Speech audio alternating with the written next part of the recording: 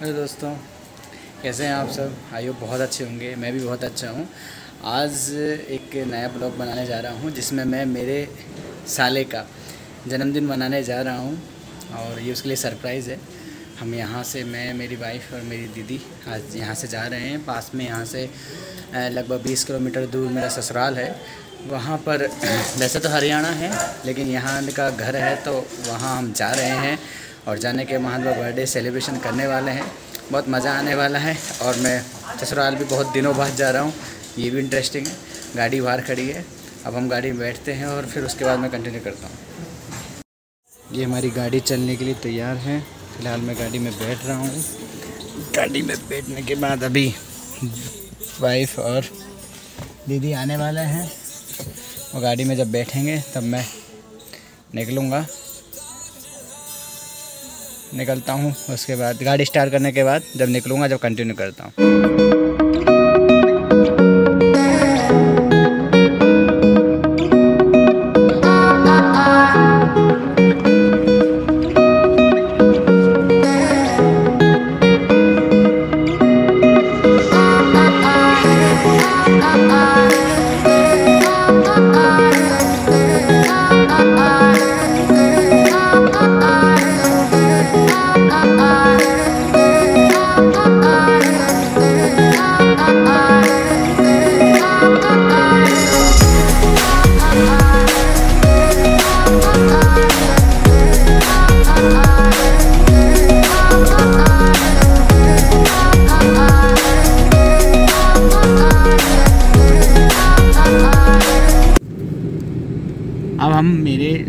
ससुराल में पहुँच चुके हैं, जिसका नाम है बावनवास, जो कि आईएएस नगरी है।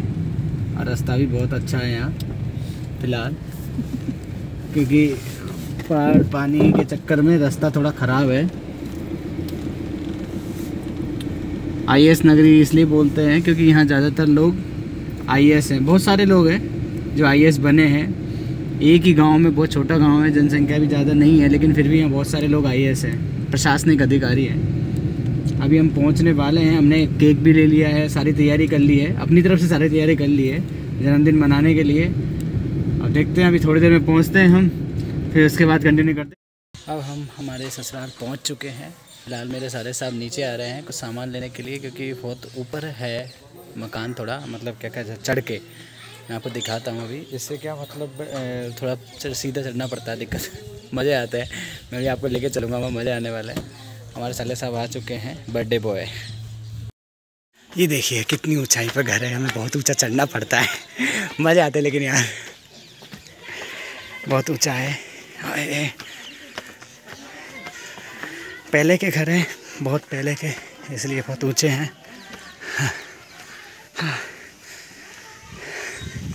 वो देखिए इतना ऊपर हमारा घर है। ये दीदी और मैं से जा रहे हैं। इतना ऊपर है। मज़ा आने वाला है। बर्थडे सेलिब्रेशन होने वाला है। साले का। हाय हाय भाई। सांस ही फुल गई यार।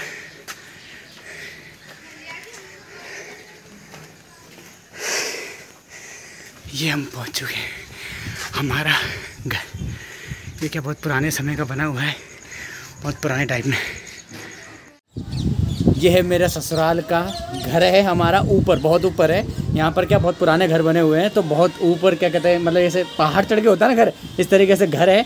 और ऊपर का आप सीन देखिए, बड़ा खतरनाक सीन दिख रहा है, ऐसा लग रहा है बादल चल रहे भाई साहब, बहुत शानदार। आज अच्छा है, मैं आया तो बारिश का मौसम भी हो गया, और बहुत अच्छा सीन है। अभी बर्थडे सेलिब्रेशन हमारा रुकने वाला है थोड़ी देर के लिए, होगा लेट होगा, ये बारिश थोड़ी चले जाए। क्योंकि फ़िलहाल बहुत तेज़ हवा है और आप देख सकते हैं कितने खतरनाक बादल है और कितना खतरनाक सीन है। ऊपर से, ये हमारे घर की छत है, मैं आपको बता देता हूँ। ये हमारे घर की छत है और मैं आपको दिखाता हूँ, ये छत है और छत के पीछे का पूरा सीन है, खेत है पूरे। बड़ा शानदार है, गाँव है, गाँव का माहौल बड़ा शानदार है और बहुत ऊपर घर है और बहुत ही क्लियर और बहुत ही मज़ा आने वाला है। और अभी सेलिब्रेशन का मज़ा भी आने वाला है, खाने में भी और केक में भी। इसलिए अभी आपको मैं दिखा रहा हूँ यहाँ का पूरा। अब वो देखिए तो शानदार, अब क्या खतरनाक हवा चल रही भाई साहब, उड़ नहीं जाए हम। इतनी खतरनाक हवा है जैसे अपन कोई हिमालय या फिर कोई और दूसरी जगह जाते हैं है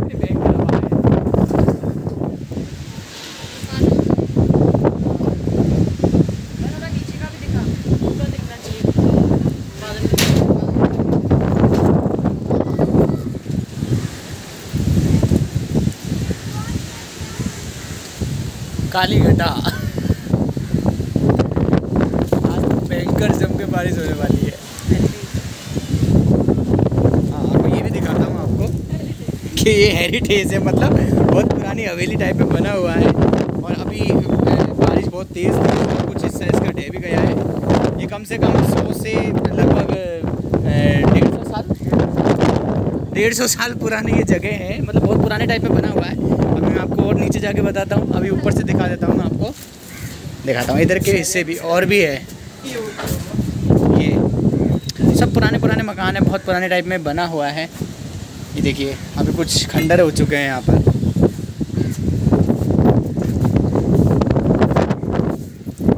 देखिए, ये बहुत पुराने टाइप में, हवेली टाइप में बना हुआ है।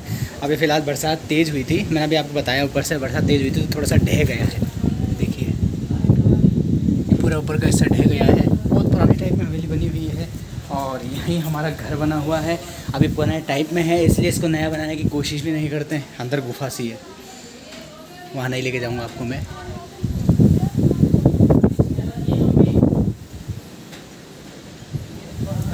अंदर एक गुफा सी है पूरा लंबा। और ये हमारा घर है। अभी घर इसको, इसलिए हम नया बनाने की कोशिश नहीं कर रहे हैं, क्योंकि ये थोड़ा सा भी अगर इसमें हमने मरम्मत कराने की कोशिश करी तो ये भोरा ढह जाएगा, जैसा अभी ये ढह गया। मतलब आप पहले की कलाकारी देख सकते हैं, कैसे बनाए जाते थे घर। देखिए, बिना उसके ये कितने अच्छे तरीके से रुके हुए हैं। इसलिए मुझे मेरे ससुराल में थोड़ा अच्छा इंटरेस्ट भी आता है, क्योंकि बहुत सारी ऐसी जगह हैं देखने को मिलती है। फ़िलहाल अभी हम सेलिब्रेशन की तैयारी कर रहे हैं, लेकिन बारिश का मौसम थोड़ा सही हो जाए, फिर उसके बाद सेलिब्रेशन करते हैं।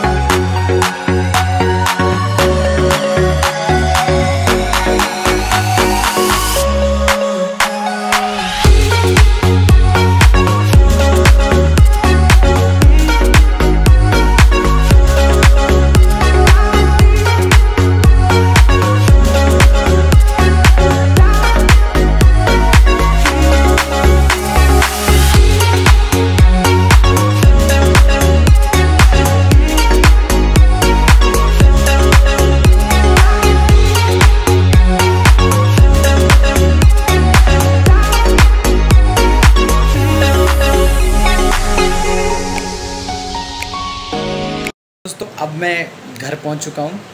बीच में थोड़ी बारिश ज़्यादा थी, इसलिए मैं आपको कंटिन्यू नहीं कर पाया। लेकिन इस सेलिब्रेशन में मेरे ससुराल तरफ़ के, ससुराल पक्ष की तरफ़ से जो इतना अच्छा सेलिब्रेशन था साले का जन्मदिन था, अच्छी तरह से जन्मदिन मनाया, मैंने आपको बहुत सारी चीज़ दिखाई। आई होप आपको बहुत अच्छा लगा होगा, बहुत मज़े आए होंगे। देखो, तिलक विलक लग रहा है, एकदम बढ़िया तरीके से विदाई की है। करते हैं मतलब ऐसा हमारे समाज में एक रीति रिवाज या फिर राजस्थान में एक रिवाज कह सकते हैं कि भाई, जमाई जब भी भी आएगा घर पे, उसको तिलक लगा करके मतलब जो भी है मतलब जमाई को कुछ दे करके नारियल वारियल दे करके, इस तरीके से विदा करते हैं। तो बहुत अच्छे तरीके से विदा किया उन्होंने, सासू जी ने हमारी ससुर जी ने। और बहुत ही मज़ा आया, बहुत ही एंजॉय किया और थोड़ा बारिश हो गया था इसलिए हमें रात हो गई थी लेट निकलना पड़ा। इसलिए बाकायदा लेकिन उसके अलावा बहुत मज़ा आया, आपको बहुत मज़ा आया होगा।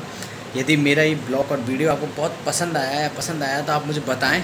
बहुत अच्छा लगा होगा, इसको लाइक करें शेयर करें सब्सक्राइब करें और प्लीज़ मुझे कमेंट ज़रूर करें। कोई भी यही आपको कमी लगती है तो मुझे ज़रूर बताएँ ताकि मैं उसको सुधार सकूँ। आपका सपोर्ट मुझे बहुत ज़रूरी है, इसलिए आप लोग सपोर्ट करें और मैं जिससे और भी अच्छे वीडियो बना सकूँ। ठीक है दोस्तों, मिलते हैं अगले ब्लॉग में, तब तक के लिए अपना ध्यान रखिए, सेफ़ रहिए, अच्छे से रहिए बाय